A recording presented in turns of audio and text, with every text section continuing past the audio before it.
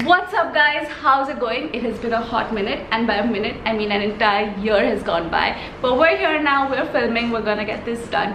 Today we're talking about nutrition labels and why nutrition labels are so important. So what are nutrition labels? Nutrition labels are basically, can I say nutrition labels anymore? Alright, so they're basically those little boxes behind uh, packaged food items that tell you what the nutrition on that product is, what the macro macronutrient profile is. Uh, why they're important is basically, you know, when you walk into a store and you're going to buy a product and you check the price tag to see whether or not something fits your budget, a nutrition label will tell you whether something or not fits your calorie budget.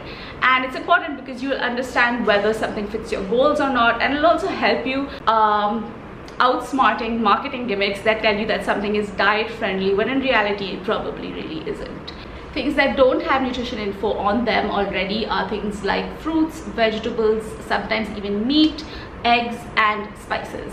So almost all packaged food items like this one come with nutrition info listed on the packaging itself and what we're very quickly going to do is get into it so I can teach you how to decipher a nutrition label.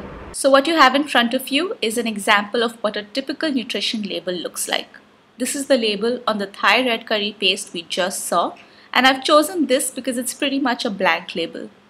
The first thing to check is the serving size. This is extremely important because sometimes you may grab something like a chocolate or energy bar and assume that the nutrition facts given are for the entire bar, when in reality the bar may be two or more serving sizes. Nutrition facts given on the product are for the mentioned serving size. Sometimes you'll see information given for 100 grams and for the recommended serving as well. Next, of course, is the total calories. The total calories are calculated based on the amount of macronutrients in the food item. Macronutrients are as the name suggests, nutrients required in larger quantities in the diet, as opposed to micronutrients like vitamins and minerals. Macronutrients are namely fats, protein, and carbohydrates which we're going to call carbs from now on.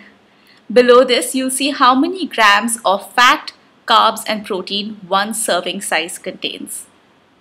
Fat is calculated at 9 calories per gram, making it the most calorie dense macronutrient, while carbs and protein are at 4 calories per gram.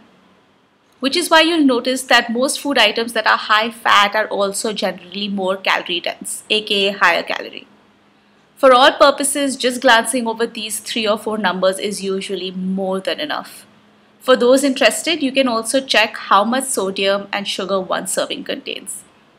If you're conscious about how much sugar you consume, it's always good to remember that one teaspoon is about 4 grams.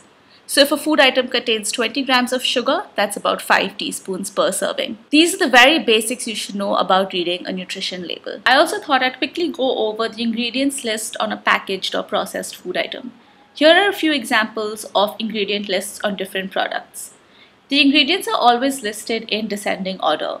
That means that the first item listed in the list is what is the most prominent ingredient and the last item is what is the least.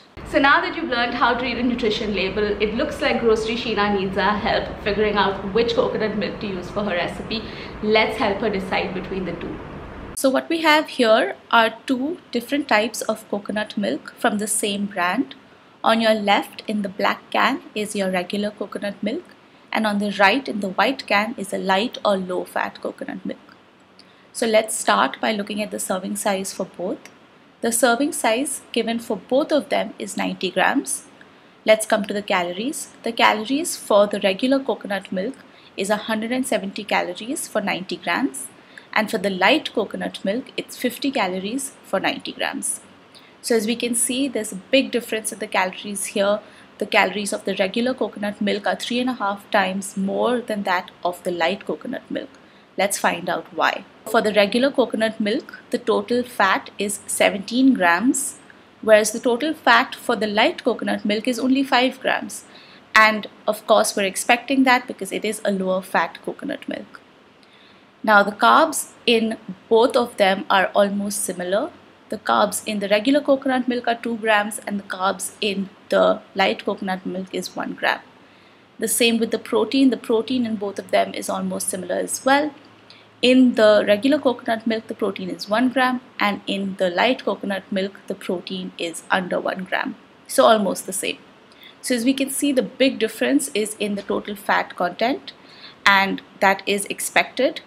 Now obviously the taste and the thickness and consistency of both of these will be different so it does depend on what you're cooking but overall if you're somebody that is looking at lowering your fat consumption or lowering your calories if you're somebody that is trying to lose weight this comes in handy because you can look at the nutrition label and compare the two to find the one that fits your goals. I hope this was helpful to some of you and I hope that it changes the way you shop for groceries. Spend a little bit extra time looking at food packaging to figure out whether something or not fits your goals and if you're new here don't forget to subscribe hit that like button if you've learned something today. We're gonna keep doing a lot of these informative uh, style videos also a few vlogs about my journey where I am now what I plan on doing what I've been doing for that past one year.